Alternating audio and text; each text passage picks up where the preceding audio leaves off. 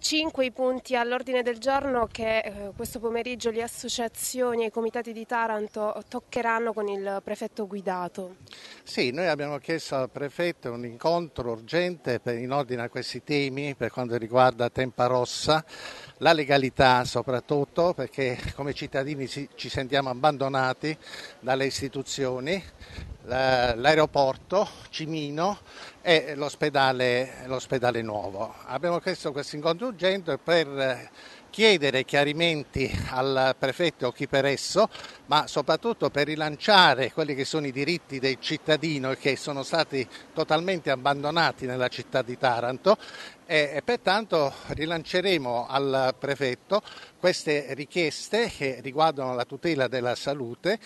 ma anche gli altri diritti, come ho detto, l'aeroporto, la, la sanità, eh, Cimino e soprattutto l'argomento attuale Tempa Rossa. Noi eh, abbiamo questo, chiesto questo incontro nel cosiddetto eh, principio di sussidiarietà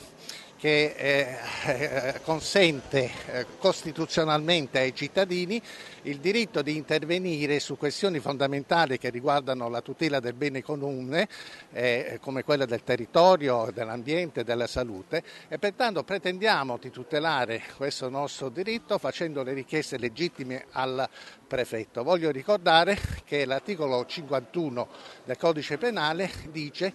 che mm, l'esercizio del diritto non è punibile, quindi se noi non siamo tutelati a questo punto dall'istituzione eh, ricorreremo alle nostre azioni di difesa per la tutela di un diritto quale la tutela della salute e, e dell'ambiente